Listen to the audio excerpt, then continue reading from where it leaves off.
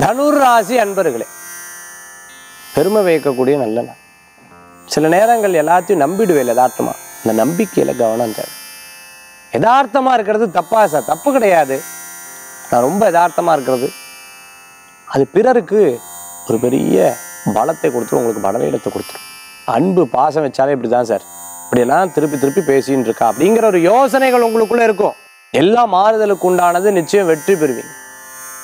இந்த தினத்துக்கு உண்டான அதிர்ஷ்டமான எண் ஆறு நிறம் வெண்மை வழிபாட்டுக்குண்டான சக்தி வழிபாடு வெற்றி வழிபாடு